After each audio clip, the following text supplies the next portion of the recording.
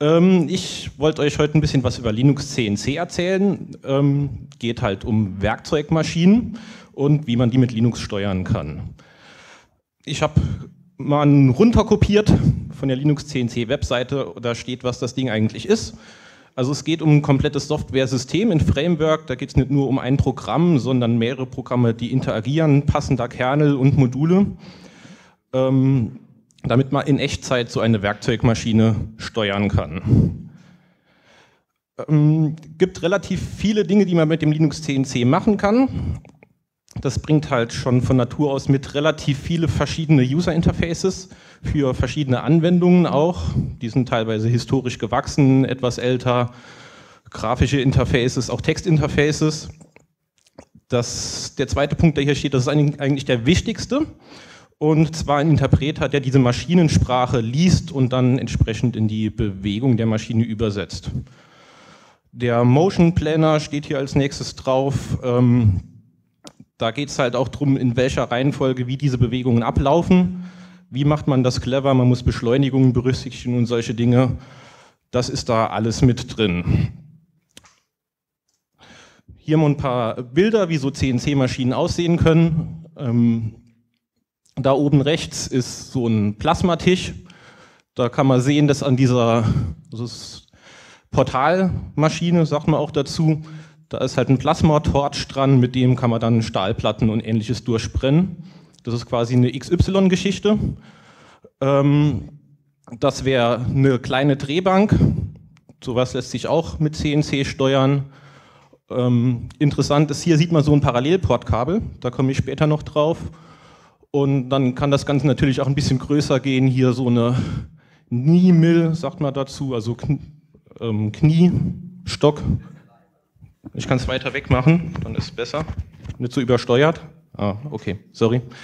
Ähm, Kniestock, Fräse, sagt man auch dazu, die hat man halt häufig, um irgendwelche Metallarbeiten zu machen. So sieht normalerweise das Setup von so einer Maschine aus. Das ist jetzt auch im Prinzip das gleiche. Da ist jetzt äh, im oben rechten steht diese Tool Direction. Das ist in welche Richtung sich das Werkzeug bewegt. Und die Maschine hat quasi die Richtung genau andersrum.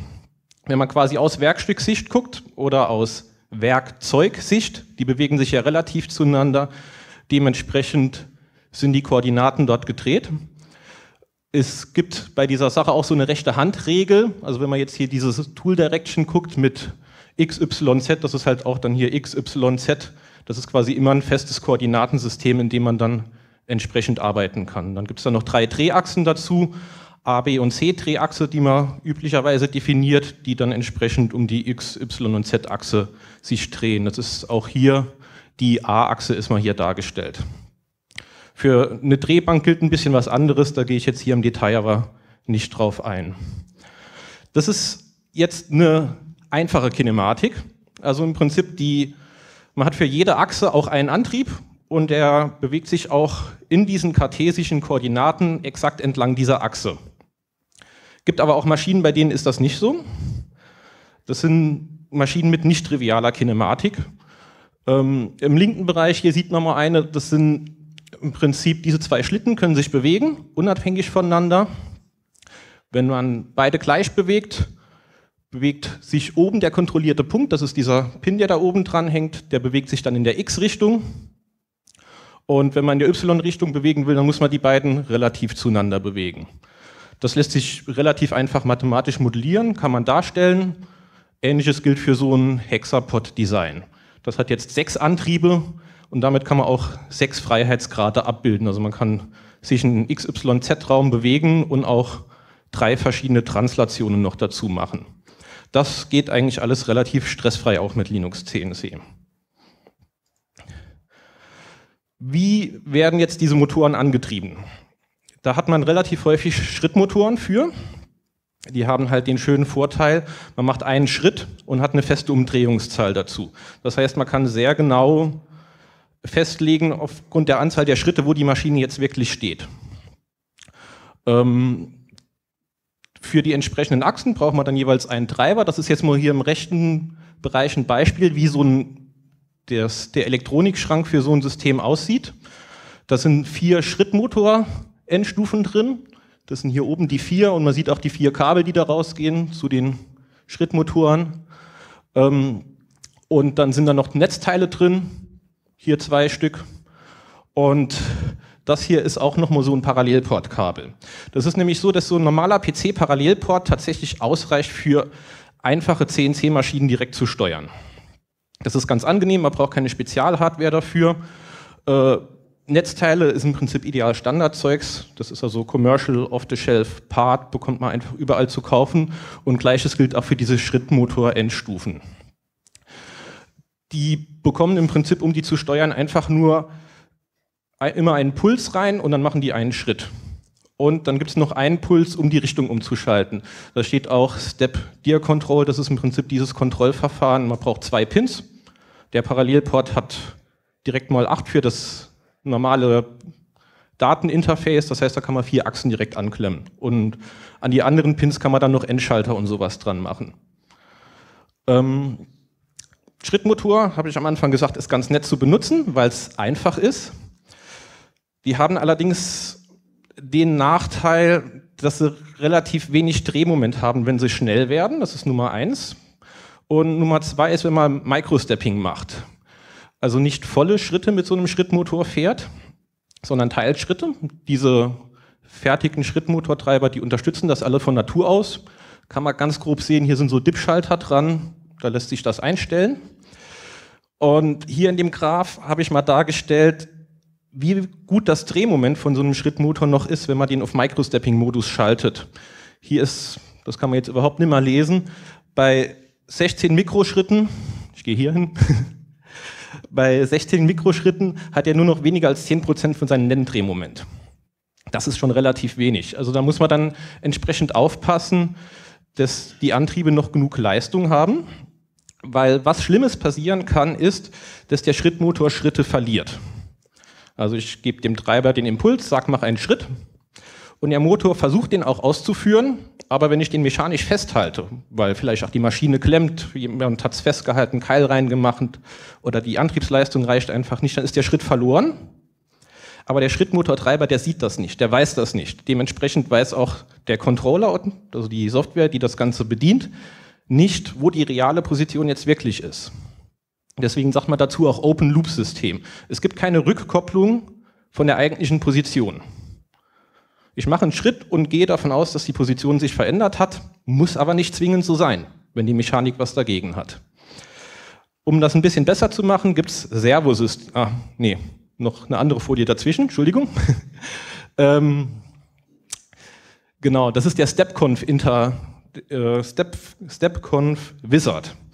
Damit kann man so eine Maschine sehr einfach einstellen. Also da kann man sehen, dass das dieses Parallelport-Setup und da kann man direkt einstellen, auf welchem Port-Pin welche Funktion ist. Das lässt sich zusammenklicken und danach läuft die CNC-Maschine. Das ist eine sehr nette Geschichte. Man stellt halt alle möglichen Parameter in. Da sind diese Step Time, Step Space, das sind physikalische Parameter, die diese Schrittmotortreiber haben. Stellt das ein, dann geht's los. Jetzt kommt, glaube ich, die Folie zum Servus. Genau. Ähm, ein Servo sieht ein bisschen anders aus als ein Schrittmotor. Ist vom Kontrast ein bisschen schlecht, aber man sieht, dass da zwei Kabel dran sind an dem Servomotor. Das eine ist das für die Energie, für den Motor auch wirklich loslaufen zu lassen. Und das hintere Kabel, das hier kommt, da sieht man auch, das hat ein bisschen breiteren Stecker. Da ist ein sogenannter Encoder dran. Der Encoder macht im Prinzip nichts anderes, als nochmal rückzumessen, wo die Welle jetzt wirklich steht. Das ist teilweise sehr genau, die liefern bis zu 2500 Impulse pro Umdrehung. Das ist so etwa der Industriestandard, den man da hat. Und damit kann man halt wirklich wissen, wo der Motor steht. Die haben dann allerdings keine so einfachen Treiber mehr. Da hat man dann solche Interface-Karten als Servo-Treiber. Normalerweise besorgt man die sich so, dass die zum Motor passen, optimalerweise. Das ist eigentlich auch ein Standardteil, den man so aus der Automatisierungstechnik rausbekommt. Die lassen sich auch, wenn man möchte, mit diesem Step-Dear-Interface betreiben, wenn man möchte. Also man gibt ihnen immer Schritte rein und der bewegt sich entsprechend. Ähm, mit Linux CNC läuft das optimalerweise, also das geht, ist aber nicht unbedingt die beste Wahl. Man kann diese Dinger nämlich proportional steuern und damit dann entsprechend auch sehr hohe Geschwindigkeiten erreichen. Ist allerdings auch deutlich teurer, so ein Servo-Setup. Schrittmotortreiber bekommt man um die 50 Euro bei eBay nachgeworfen, Schrittmotor auch. Und allein so ein Servotreiber kostet 500 Euro etwa. Wie funktioniert jetzt so ein Servo? Ich habe ja gerade eben schon gesagt, so grob, man hat dieses Feedback und ja, im Prinzip, man hat den Powerverstärker, das war das Servo Drive gewesen, der treibt den Motor an und das Feedback-Device wäre halt dieser Encoder und das verrechnet man mit der Position, die man haben möchte. Das ist oben dieser Summierverstärker und stellt dementsprechend das Ausgangssignal von dem Verstärker ein. Das ist eine PID-Regelschleife, die man üblicherweise dafür nimmt. Da werde ich jetzt im Detail nicht weiter drauf eingehen, das kann man sich in der Regelungstechnik-Vorlesung mal anschauen. Ähm, Im Prinzip geht es aber, also die, die Kernaussage ist hier, man regelt exakt die Position. Im Vergleich zum Schrittmotor schätzt man die Position. Und hier hat man wirklich das Feedback dazu. Das ist für entsprechende CNC-Maschinen, die schnell sein wollen und die große Lasten fahren, braucht man sowas eigentlich. Damit man so Sachen auch steuern kann, braucht man viele Ein- und Ausgabeports am Computer dran. Dann reicht so ein Parallelport unter Umständen nicht mehr aus. Und da gibt es natürlich mehrere Sachen. In der Linux CNC Community hat sich diese Anything IO Karte durchgesetzt von der Firma Mesa Elektronik. Das ist im Prinzip einfach eine PCI-Karte, steckt man rein, gibt einen Linux-Treiber dafür und da ist ein FPGA-Chip drauf. Der kann relativ viel, relativ schnell Bits hin und her schieben und das macht man sich auch an der Sache zunutze. Und das ist die Basiskarte und dann gibt es quasi solche Breakout-Karten, hier mit den Schraubenterminals, dort kann man dann direkt entsprechend seine Hardware anschließen. Man sieht, das sind schon sehr viele, da passen wirklich viele Sensoren und Aktoren dran an der Stelle. Ist halt ein kommerzielles Produkt auch. Ähm, die Firmware, die auf dem FPGA läuft, die ist Open Source, aber die Karte selbst halt nicht.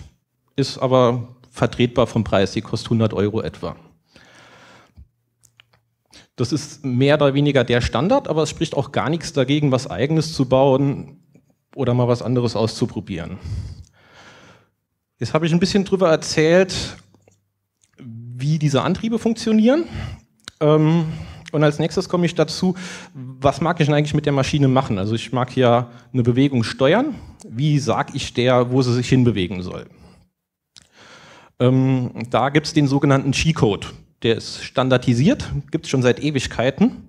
Also wer so ein Tabellenbuch Metall unter Umständen hat von vor 30 Jahren, da stehen auch diese Befehle schon drin. Das, ich habe es jetzt nicht nachgeschlagen, wie lange es das wirklich gibt. Ähm, ist herstellerübergreifend ein Standard. Das heißt, wenn man sich jetzt irgendwie eine CNC-Maschine von Fanuc, Okuma, was auch immer, fix und fertig kauft, die programmiert man genauso. Es gibt ein paar herstellerspezifische Codes, da komme ich gleich noch drauf. Ich wollte jetzt mal grob so erklären, wie so ein CNC-Programm aussieht man sich das vorstellen kann. Das Prozent, das ganz oben steht, das ist halt Start der Datei. Und dann kommen mehrere Codes auf einer Zeile. Die fangen immer mit einem Buchstaben an und dann eine Nummer hinterher. Ähm, das heißt G-Code, hauptsächlich deswegen, weil dort immer so ein G vorne dran steht bei den meisten Dingern. Das G21 heißt, wir programmieren die Maschine in Millimeter. Wenn da G20 stehen würde, wären es Inch. Ähm, G40 und G49, die löschen Offsets. Und zwar gibt es noch Werkzeug, Bahnkorrektur und ja, ist hauptsächlich Werkzeug, Bahnkorrektur. Man kann nämlich nicht nur programmieren, wo das, äh, schlecht erklärt, ähm, das Werkzeug selbst hat ja einen Durchmesser. Fange ich mal so rum an. Und ähm, wenn ich jetzt den Werkzeugdurchmesser muss ich bei der Programmierung berücksichtigen. Und ähm, das macht die Software teilweise automatisch und hier sage ich dir, naja, mach das mal komplett weg, ignoriere den Werkzeugdurchmesser. Ähm, dann kommt ein M-Code, M6, der heißt Lad ein Werkzeug. Gibt Maschinen mit automatischen Werkzeugwechslern und T1 heißt dann tatsächlich Tasche 1. Das heißt, er legt das Werkzeug aus Tasche 1 dort rein. Ähm, Das passiert tatsächlich dann in, in real auch, dass dann der Werkzeugwechsler vorfährt und das exakte Werkzeug dort einlegt. G17 sagt, ähm, dass ich in der XY-Ebene arbeiten möchte. M7 macht, glaube ich, die Sprühkühlung an. Diese M-Codes sind hauptsächlich immer für Dinge, die eigentlich nichts mit der Bewegung zu tun haben, sondern für drumrum. Und G-Codes sind zur Bewegung. Und dann kommt hier geht's los mit G0 und dann kommen Koordinaten. G0 heißt tatsächlich, fahr auf diesen Punkt. Das heißt, er fährt jetzt auf Z 40 mm exakt hin. Und sobald er diesen Befehl abgeschlossen hat, geht er auf den nächsten. Also es läuft wirklich sequenziell. Dann fahre ich auf X0, Y0. M3 ganz am Ende heißt Spindel anschalten und S sagt, wie schnell die Spindel laufen soll. Das ist die Umdrehungszahl vom Werkzeug. Und dann geht es hier nochmal weiter mit zwei G0-Befehlen, wo ich einfach nochmal Koordinaten abfahre. Und der letzte ist der G1-Befehl. Ähm, das ist auch eine Bewegung, allerdings ist das eine Schnittbewegung. Das ist eine wirkliche Bearbeitungsbewegung. Das erkennt man auch daran, dass hier ein Vorschub steht. F heißt Feed Rate. Ähm, das wären jetzt hier 600 Millimeter pro Minute Vorschub, mit der die Maschine fährt. Die G0, da sagt man, ähm, das sind Position Movements die sind nicht im Material, nicht zum Schneiden, die führt die Maschine immer mit der maximal möglichen Bewegungsgeschwindigkeit aus. Das macht man dann, wenn das Werkzeug außerhalb vom Material positioniert werden soll und danach kommen dann die G1-Bewegungen, die im Material sind, die dann spanend abtragend laufen. Linux CNC kann noch ein bisschen mehr als diese normalen G-Codes. Ähm, tatsächlich ist es so, dass diese der G-Code-Interpreter von Linux CNC Turing-Complete ist. Kann jetzt gut oder schlecht sein, kann man drüber streiten. Es gibt diese sogenannten O-Codes, da steht halt ein O vorne und kein G. Die sind nicht standardisiert. Ähm, das heißt, eigentlich hätte ich da oben auf der Folie das RS274 rausstreichen müssen. Ähm, man kann Unterroutinen, äh, Subroutinen aufrufen, Verzweigungen machen, schleifen. Ähm, ein sehr interessantes Feature ist äh, indirekte Aufrufe. Die Raute zeigt an, dass ich eine Variable an der Stelle auslese. Also man kann auch Variablen verarbeiten in diesem G-Code. Kommt auf der nächsten Folie, glaube ich, mehr zu. Ähm, ja, hier unten, Arithmetik. Also ich kann Variablen zuweisen, berechnen, Dinge machen dazu.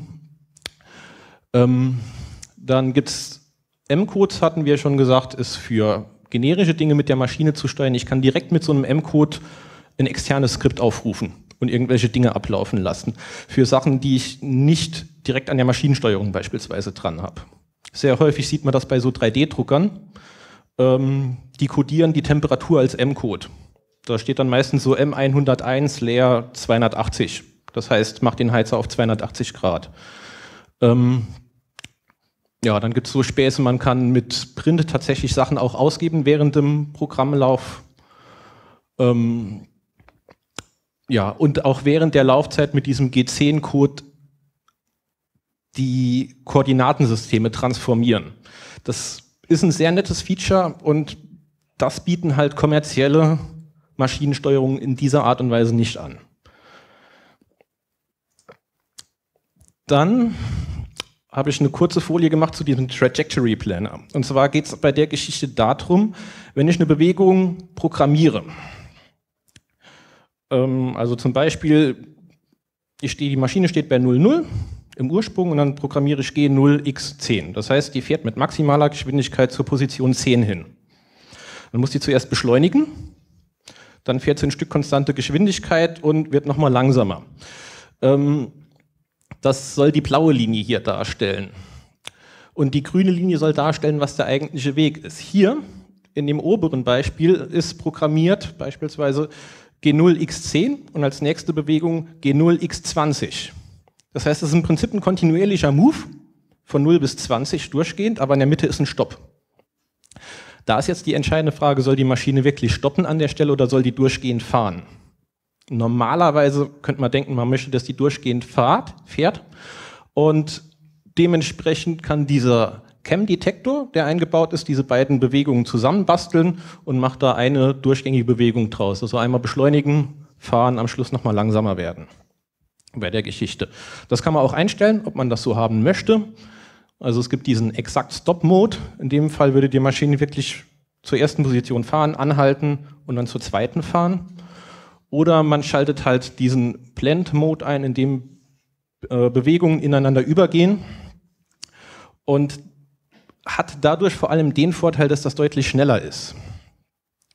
Wenn man nach jeder Bewegung einmal stoppen, also jede Bewegung hat einen Start und einen Stopp immer mit drin und der ist relativ langsam, je nachdem wie die Geometrie der Maschine ist, wie schnell die Motoren sind. Das ist ein limitierender Faktor bei der Produktivität von so Dingern. Dementsprechend möchte ich haben, dass Bewegungen so fließend wie möglich ineinander überlaufen. Und da ist dieser Blend-Mode auch ganz nett. Den sieht man hier ganz nett auf dem Bild. Ich dachte am Anfang, das wäre ein Fehler, aber das ist eine Einstellungssache. Also ich wollte hier auf diesen Linien mit der Maschine fahren, wo diese exakten rechten Winkel sind. Und normalerweise würde das so aussehen, die Maschine fährt bis hierhin, stoppt und fährt hier weiter. Das ist langsam und dieser Blend-Mode führt tatsächlich dazu, dass man hier so eine leichte Kurve fährt. Und das macht diesen Übergang schneller. Allerdings ist das Teil, was hinterher rauskommt, nicht das, was ich haben möchte. Das ist ein bisschen nachteilig. Ähm, das kann man mit diesem G64-Befehl und G61, den ich auf der vorherigen Folie hier hatte, dann einstellen, ob ich diesen exakten Modus haben will oder ob ich diesen Blend-Mode haben will und ich kann da auch eine Toleranz einstellen, inwieweit das Ding abweicht. Bei vielen Teilen sage ich ja auch, naja, Zehntel mehr oder weniger ist mir egal, muss ja nicht passen so exakt. Und dann kann ich mit diesem G64-Befehl die Toleranz auf ein Zehntel Millimeter stellen und gewinne dadurch halt deutlich Geschwindigkeit gegenüber dem exakten Modus. Der Screenshot hier zeigt auch direkt, wie die Benutzeroberfläche aussieht oder eine der vielen Benutzeroberflächen. Die heißt Axis. Das ist die, die standardmäßig auch aktiviert wird. Ähm, man sieht, hier ist so dieses G-Code-Fenster, wo der Programmcode drin ist. Ähm, das hier ist ein Vorschaufenster und gleichzeitig auch ein sogenanntes Backplot-Fenster. Backplot in dem Sinne, die Vorschau ist, hier wollte ich eigentlich langs fahren und Backplot das rote, wo ich tatsächlich langs gefahren bin. Das unterscheidet sich ja teilweise, haben wir gerade gelernt. Ähm, man kann ein bisschen die Ansichten umschalten, was man genau sehen will. Ähm, oben links in dem Vorschaufenster sieht man auch äh, die Positionen, wo die Maschine sich gerade befindet. Velocity, Geschwindigkeit, DTG, Distance to go, bis der nächste Bewegungsbefehl abgeschlossen ist. Ähm, und hat noch ein paar Möglichkeiten, hier irgendwie die Geschwindigkeiten des, des Ablaufs von dem Programm anzupassen. Ähm, was haben wir als nächstes? Ganz viele andere Oberflächen noch. Ähm, das war eine der ersten. TK-Oberfläche sieht auch nicht ganz so hübsch aus. Viele erkennen das Toolkit vielleicht, dass das benutzt wurde. Und da sieht man auch, dass der Backplot ist auch noch in einem externen Programm ausgeführt. Das war damals nicht zusammen. Eine relativ neue Geschichte ist hier das Interface in dem Kasten. Das ist Touchy heißt das. Das ist extra für Touchscreen-Bedienung ausgelegt, dass man halt keine Tastatur in der CNC-Maschine mehr braucht, sondern einfach auf den Monitor patschen kann ähm, um seine Maschine zu steuern. So, als nächstes wollte ich ein bisschen was darüber erzählen, wie die Software denn intern aufgebaut ist. Das ist ganz hilfreich, wenn man selbst sowas implementieren will, selbst eine Maschine in Betrieb nehmen will, ja, um zu wissen, was greift da ineinander, wie funktioniert das zusammen. Das verteilt sich leider über drei Folien, weil es ein bisschen größer ist. Ähm, im Prinzip ist es so, wir haben vier Hauptprozesse, die sehr wichtig dafür sind. Halt eine Oberfläche, mit der man es bedient. Dann gibt es das EMC Task. Dort läuft, das ist hier der Kasten, da läuft der Interpreter auch drin, der den Skicode analysiert. Und ähm, ja, im Prinzip ist das hauptsächlich der Parser an der Stelle. Dann gibt es EMC.io. Das ist für den Input-Output-Controller, der verarbeitet hauptsächlich diese M-Codes zum Beispiel Werkzeugwechsel und sowas. Und dann noch EMC Mod, das ist für Motion. Der EMC IO Part, der läuft nicht in Echtzeit. Ähm, muss er auch nicht. Ein Werkzeugwechsel, der kann ruhig mal eine Millisekunde länger dauern, stört mich nicht sonderlich. Ähm, der Motion-Teil, der läuft in Echtzeit. Weil Bewegungen sollten doch schon exakt dort anfangen und enden, wo ich das eigentlich geplant habe. So, das ist die versprochene zweite Seite. Da ist, sieht man auch im I.O.-Controller ist nicht sonderlich viel drin. Ähm, auf der linken Seite der Motion Controller. Ähm, da sieht man vor allem drin ist der Trajectory Planner. Der nimmt quasi die Dinge, die aus dem G-Code rausgekommen sind und plant dann tatsächlich den eigentlichen Move. Das ist das, was ich eben mit diesen äh, Motion Blending Sachen erklärt habe. Das ist auch dort drin. Dann kommt Kine das Kinematik-Modul, das im Prinzip aus dem kartesischen Raum in den Maschinenraum übersetzt. Unter Umständen habe ich ja keine so einfache Geometrie der Maschine. Ähm, und dann geht das auf die Steuerung der jeweiligen Achsen. Das ist halt hier diese Verzweigung. Also für jede Achse gibt es dann hier einen Block drin. Und das ist im Prinzip, ja, so viele Achsen, wie da drinne sind. Und dort ist dann halt auch diese Regelschleife drin. Also es gibt ein Feedback von hier, wo die Position wirklich ist. Ah, nee, Positionsfeedback ist hier das. Geht hier in den Mixer, ins PID und dann nochmal zurück zum Antrieb. Hier oben kommt quasi die Sollposition rein. Hier sind auch noch so Späße drin wie Backlash Compensation. Das heißt, wenn man, meistens hat man hier so Antriebsspindeln zum Antrieb und die haben unter Umständen Spiel. Das heißt, wenn man die rechts rum dreht oder links rum, ist die Position ein bisschen anders. Das kann man vorhersagen. Das ist in diesem Interpolator noch mit drin. Die ganze Kommunikation, da steht oben Shared Memory Buffer, die läuft tatsächlich einfach nur über RAM, wo die ganzen Daten drin liegen. Da gibt es halt Interfaces, wie das Ganze abläuft. Das heißt NML, das steht glaube ich auch noch da drauf. Ist aber eigentlich auch uninteressant, wie das jetzt heißt. Ähm, und dann diese ganzen Daten, die wir haben, die sind alle in einem sogenannten Hardware Abstraction Layer, werden die zusammengeführt. Da gibt es nochmal eine Folie zu da habe ich jetzt hingeschrieben Plumbing Layer. Das muss man sich so ein bisschen vorstellen wie so ein Steckbrett. Wenn man einfach irgendwelche Komponenten nimmt, aufsteckt und mit Kabeln verbindet. Genauso funktioniert das in diesem Hale-Layer auch. Da gibt es eine Beschreibungssprache zu, habe ich gleich ein Beispiel zu. Und damit verbinde ich dann meine ganzen Komponenten. Und hinter diesem H-Layer sitzt dann am Schluss die tatsächliche Hardware, hinter den entsprechenden Interfaces. Also diese Mesa-Karte sitzt quasi im Prinzip da dazwischen und vermittelt dann quasi zwischen PC und digital, also den Sachen, die dort im Speicher liegen und tatsächlichen elektrischen Signalen, die dann hier an die Encoder gehen oder an die Verstärker und sonstiger Krams. Ganz wichtig hier sind Limit-Switches. Ähm, man möchte nämlich nicht haben, dass die Maschine irgendwo hinfährt, wo sie physikalisch nicht hin sollte. Und dort ist normalerweise auch immer noch ein Notaus verbunden. Sehr, sehr wichtiges Feature bei einer CNC-Maschine. Immer so einen roten Knopf, auf den man drauf hauen kann. Ein Beispiel zu diesem Hardware Abstraction Layer. Ähm, und zwar, was jetzt hier drin steht, ist eine Uhr, die Sekunden zählt. Und zwar Sekunden seit das Programm läuft. Ist ganz nett, um zu überprüfen, wie lang ist jetzt mein mein CNC-Programm jetzt wirklich am Start. Da sieht man ganz oben stehen Load RT. Damit lädt man ein Echtzeitmodul. Ähm, da gibt es jetzt verschiedene Module. Ich habe so einen PWM-Generator, einen Encoder zum Zählen und Edge zum Kantenfinden. Dann die, der zweite große Block, der hier steht, ist addf, add function.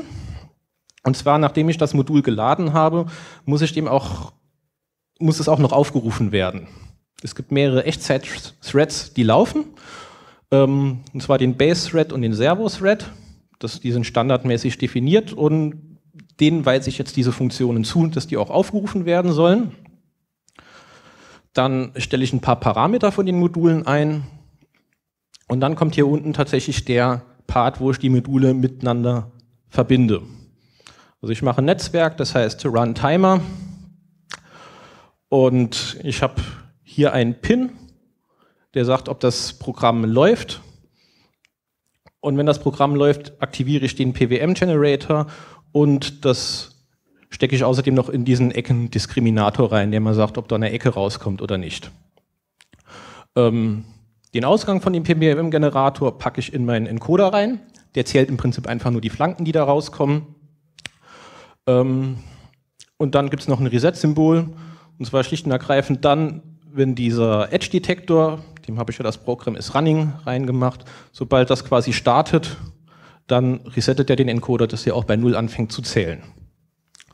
Und wenn ich mir jetzt quasi, das steht jetzt nicht drauf, es gibt halt auch noch encoder.0.counts und dort stehen im Prinzip dann die Sekunden drin, seitdem das Ding läuft.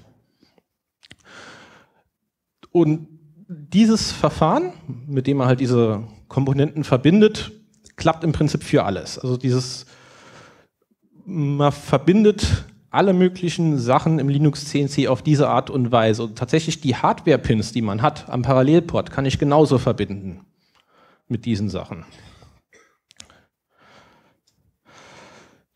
Dann gibt es, das war jetzt eine Möglichkeit, wie ich das, wie ich die Sachen miteinander verbinden kann. Es gibt dann noch das Classic Ladder. Ich selbst kenne mich so gut wie gar nicht damit aus. Ähm, Leute, die SPS programmieren, oder das aus der Automatisierungstechnik kennen, die können wahrscheinlich mit so Bildern was anfangen. Das ist im Prinzip eine grafische Art und Weise, wie ich das Ganze programmiere. Das sind halt auch im Prinzip einfach nur Netze, das sind irgendwelche Schalter. Das kann ich mal zusammenklicken. Anstatt das in Textfile zu schreiben, kann ich es hier klicken.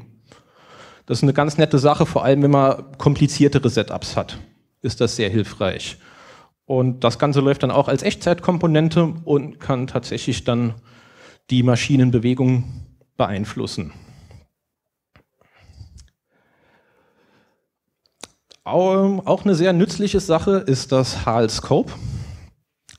Das ist im Prinzip ein Software-Oszilloskop und das kann ich an jedem von diesen HAL-Pins oder HAL-Netzen, die wir eben hatten, anhängen. Und ähnlich wie bei einem echten Oszilloskop dann halt auch ähm, Offsets einstellen, Verstärkungen, Zeitbasis und ähnliches und kann mal angucken, welche, Maschi welche Signale wirklich in meinem HAL-Layer unterwegs sind. Sehr hilfreich zur Fehlersuche.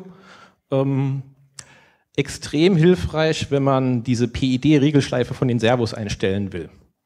Für diese PID-Parameter einzustellen, muss man halt genau gucken, wie der Fehler ist über der Zeit und entsprechend die Parameter anpassen. Und hier hat man ein sehr schönes optisches Feedback an der Stelle. Ähm, das läuft einfach Echtzeit mit dazu, ist eine hübsche GUI, klappt wirklich wunderbar. So, noch mehr Interface-Krams. Es gibt das Python Virtual Control Panel. Setzt auch auf dem TK Toolkit an. Ähm, das ist eine Beschreibungssprache, ähm, mit der ich quasi User Interface Elemente definiere. Das ist hier mal so eine Übersicht über alle Elemente, die es gibt. Und das User Interface, das ich mal hier zusammenschreibe, das ist, glaube ich, eine XML-Datei, wo ich das alles reinmache, ähm, das generiert mir am Schluss HAL-Pins. Und die kann ich dann nochmal in diesem HAL-Layer miteinander verbinden. Also ich kann mir zum Beispiel hier ähm, so eine LED-Anzeige machen, die mir dann anzeigt, ob ich einen Limit-Switch getroffen habe mit der Maschine oder nicht. Ähm, ich habe zum Beispiel an meiner Maschine so 0 bis 100 Prozent Auslastungsanzeiger dran, ähm, wie viel Last auf der Spindel drauf ist. Das kann man einfach da sich zusammenschreiben und in das Benutzerinterface mit reinklicken. Ähm, das Ganze gibt es auch nochmal, also das ist mehr oder weniger von Hand zu Fuß schreiben, das Ganze gibt es nochmal mit Clade, das ist so ein Interface-Bilder, der auf GTK aussetzt, macht im Prinzip das Gleiche. Noch ein paar andere Beispiele, was man Hübsches damit machen kann. Ähm, man hier nochmal die, die unteren zwei Screenshots auch nochmal von der Axis-Bedienoberfläche. Ähm, hier hat jemand sich zusätzliche Tabs reingebaut, in dem G-Code-Generatoren drin sind, wo er einfach ein paar Parameter eingeben kann, hier im Beispiel für so eine D-Sub-Buchse zu fräsen.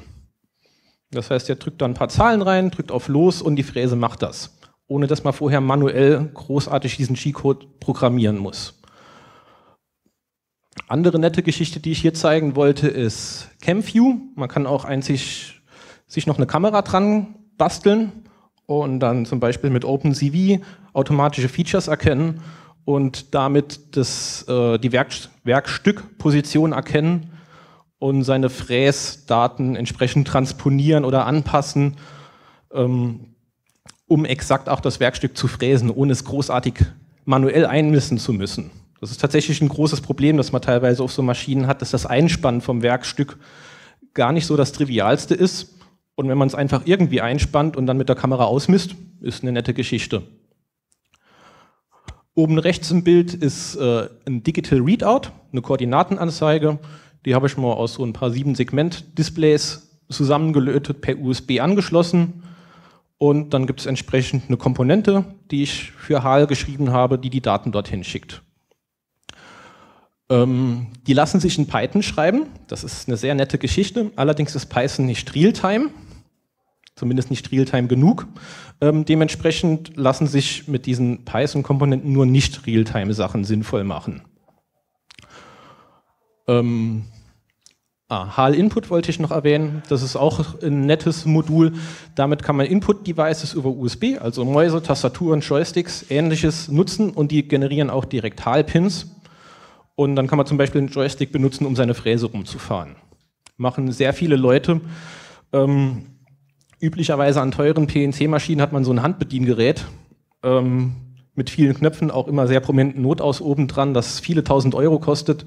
Ich schließe ein Joypad per USB an, tippe ein paar Zeilen und habe dasselbe im Prinzip. Ja, damit bin ich im Prinzip auch schon durch. Ich wollte hier so eine kurze Vorstellung von der Geschichte, von der Software machen. Ähm, wer hat den Witz mit M2 verstanden? Ha, einer, sehr gut. Ähm, ah, noch ein paar. Ja, das war es im Prinzip schon gewesen.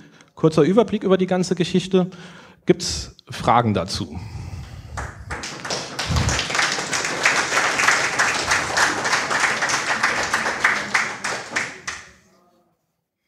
Ja?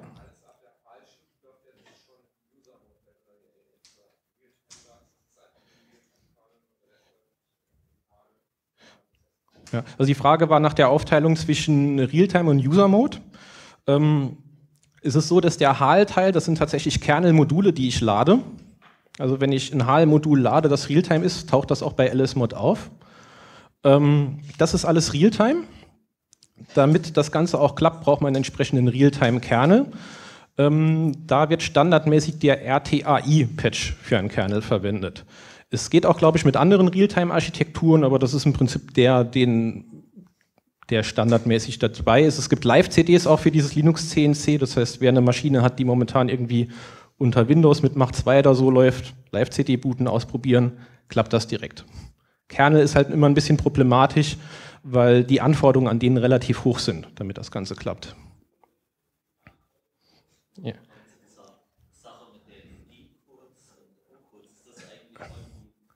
Äh, quasi mit Layern strukturiert. Also ich sage, am Anfang wird dieser Code, wo jetzt die U-Codes drin sind, ausgeführt, sich am Ende nur noch mit diesem RS 274, ich glaube, der DPG-Code, äh, quasi zwischen Dateihaft, wo nur noch das Kompatible drin ist.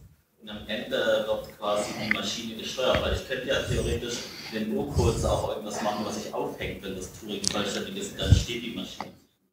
Ähm, ja, das ist absolut richtig und genau das passiert auch. Die Maschine steht dann, wenn man so ein O-Code-Kram programmiert. Ähm, das wird quasi wirklich zur Laufzeit evaluiert und ausgeführt, das Ganze. Es gibt keine Zwischenschicht dazwischen. Der G-Code-Interpreter liest die O-Codes und macht was damit. Ja, jetzt aus. Noch Fragen? Was passiert, wenn du so G-Code äh, benutzt oder wie gesagt, mit der, der Geschwindigkeit Ja.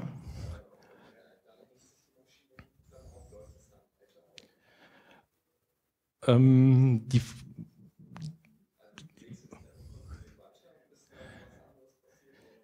Ja, die Frage ist, wann hängt sich die Maschine auf? Also wir gehen einfach mal davon aus, also die Frage war, was passiert, wenn die Maschine in Bewegung ist und die Software hängt?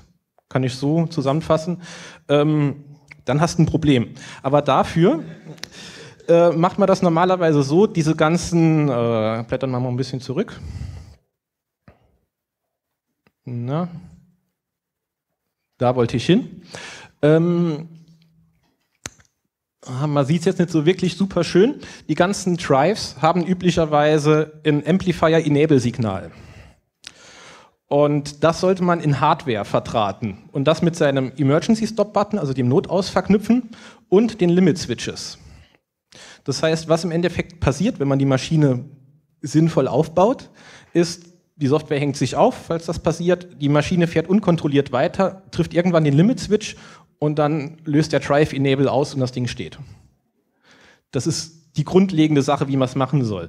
Ähm, häufig ist es so, dass gerade bei Maschinen, wo man nur Schrittmotoren dran hat, die haben meistens nur Soft Limits, also keine Hard Limit Switches. Im Prinzip braucht man für jede Achse zwei an jedem Ende.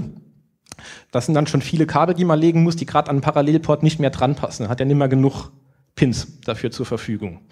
Ähm, was man machen kann, ist diese ganzen Endschalter einfach in Reihe schalten. Und sobald einer davon auslöst, ist es ja, es interessiert mich ja nicht welcher. Wenn einer von denen auslöst, ist was Schlimmes passiert, dann aus. Das geht auch. Da ist noch eine Frage?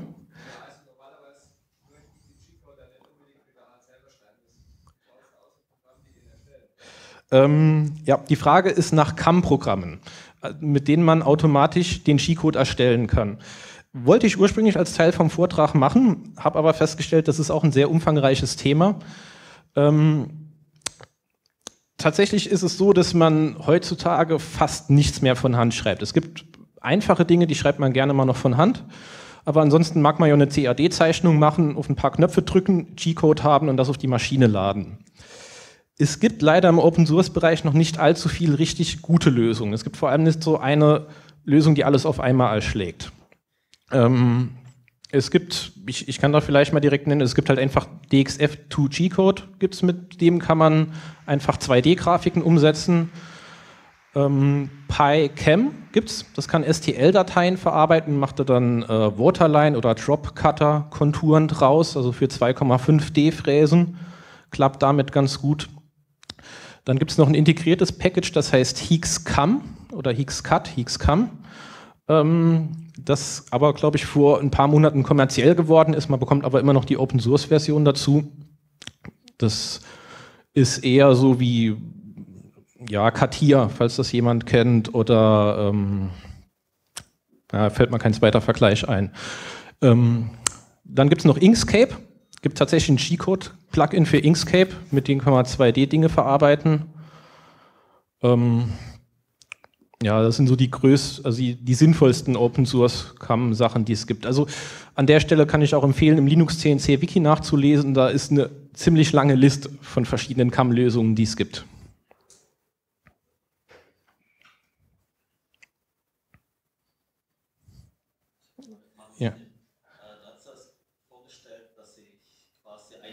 Habt, dann im zweiten Feld, dann zieht er das komplett durch. Also, genau.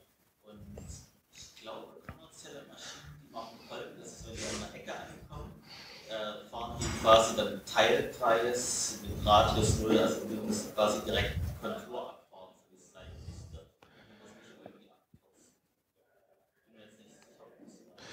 Ähm, ja, die Frage war jetzt zu dem Motion Blending, wie man das im Prinzip, also dass kommerzielle Maschinen dort auch entsprechende Tricks haben, nicht stoppen zu müssen. Ähm, das kann man teilweise auch im G-Code ganz clever lösen. Man kann zum Beispiel ähm, in, in, also wirklich einen Kreis außenrum fahren. Das ist, sieht dann so ein bisschen schleifenmäßig aus. Man jetzt hier keine Tafel. Also im Prinzip, wenn ich so eine Ecke fahren will, dann fahre ich hier runter und fahre hier außenrum so einen Kreis und fahre dann so, weil dann muss die Maschine nicht langsam werden. Das ist teilweise schneller als stoppen. Ähm, das kommt aber auch sehr nochmal auf die Anwendung drauf an, was für ein Material bearbeite ich mit welchem Werkzeug. Ähm, das ist eine sehr individuelle Geschichte, die man da hat. Wie bitte? Ja, ist auch eine Sache, die man äh, teilweise macht man ja Sachen mit Schleppmessern, geht auch mit Linux CNC, dann muss man solche Schleifen eigentlich immer fahren an der Stelle. Ja. Ich sehe sonst, glaube ich, keine Fragen mehr hier in der Audience. Dann sind wir, glaube ich, durch. Danke für die Aufmerksamkeit.